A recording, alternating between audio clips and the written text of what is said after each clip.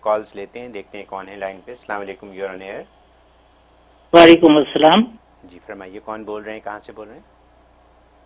جی Mahmood Ahmed Gujarat India سے بات کر رہا ہوں سر۔ جی جی فرمائیے میرا مفتی صاحب سے یہ پوچھنا ہے کہ سورہ کاف کے بارے میں پچھلے ہفتے بتایا تھا کہ مالک خسالی کے لیے روزانہ دو مرتبہ پڑھے۔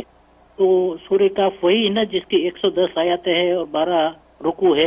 اور دوسرا یہ کہ صبح شام پڑھے یا پھر جوہر کی نماز کے بعد وقت رہتا ہے تو پڑھ لے یا عشاء کے بعد وقت رہتا ہے تو دو بار ایک ساتھ پڑھ لے۔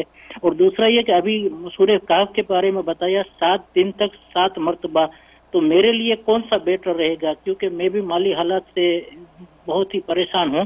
جی۔ بکیا ویڈیو دیکھنے سے پہلے ویڈیو کو لائک کریں راہم ٹی وی چینل کو سبسکرائب کریں اور بیل آئیکن پر کلک کریں۔ شکریہ۔ ٹھیک بہت شکریہ۔ جی۔ ماشاء اللہ سب سے پہلے آپ کی محبت کا شکریہ، آپ انڈیا گجرات سے کال کر رہے ہیں۔ اللہ آپ کو خوب برکت عطا فرمائے۔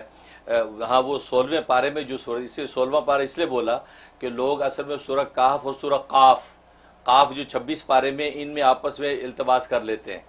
اس لیے میں یہ بول دیتا ہوں کہ سولہویں پارے میں جو ہے، جو جمعرات جمعے کو پڑھی جاتی ہے جس کو عوام سورہ کہف بولتے ہیں، کہف۔ ہاں، تو اس لیے کہف بولتے ہیں، عوام، وہ ہے۔ تو وہی جو آپ سور بتا رہے ہیں، یہی صورت ہے۔ کہ یہ صورت آپ نے دو مرتبہ اس لیے بتایا کہ بعض لوگوں کو سات مرتبہ پڑھنا مشکل ہے۔ اس لیے دو والا بھی عمل میں نے بتا دی کہ دو مرتبہ روزانہ پڑھ لیں اور یہ اکیس دن تک کر لیں۔ تو بھی ایک ہی بات ہے۔ ورنہ اگر سات مرتبہ روزانہ پڑھ سکتے ہیں سات دن تک، تو دی بیسٹ ہے۔ تو آپ کے مالی حالات میں دونوں کی آپ کو اجازت ہے۔ اگر سات مرتبہ روزانہ آپ پڑھ سکتے ہیں اور وہ دن میں پڑھنی ہے دن میں جو آپ اشراق کے بعد جو شروع کر دیں یا فجر کے بعد شروع کر وہ ٹائم کی کوئی پابندی نہیں ہے۔